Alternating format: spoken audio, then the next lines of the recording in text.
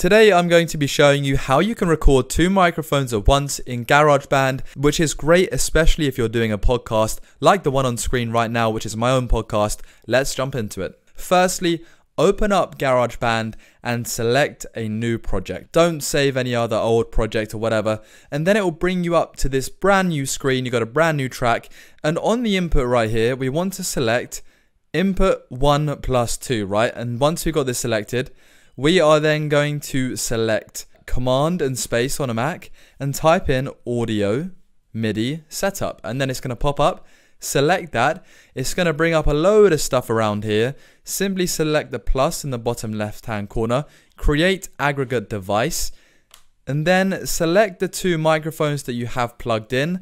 They're going to be available only if they have on the in section a number next to them. So you see here, I've got a Rode NT USB as I showed you at the start.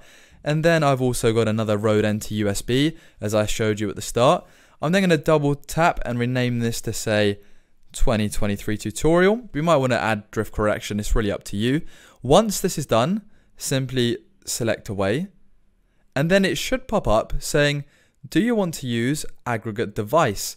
Now you can select yes, and it will basically select the one that you have just created. So right now, as you can see, after selecting use and use once it popped up on the screen, my input device is now my 2023 tutorial, which is, as we know, the mics that I've just created. So if I select create then, what is going to happen is my inputs, I've got 1 to 2, 2023, that's one mic, then 3 to 4 is the other mic. So then simply click this, Command D to duplicate it. We're going to set audio 1 to be the first mic. We're going to set audio 2 to be the second mic. Then we're going to untick these two things. And basically right now you'll see that it only records one mic at a time. We want to select at the top here track, configure track header, get the record enable.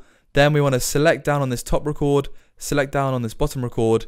And now when we record, they are both recording at the same time. And my friends, that is how you do a podcast in GarageBand, exactly like my one at the start in 2023. Leave a like, subscribe, that honestly helps me out if you found this tutorial helpful.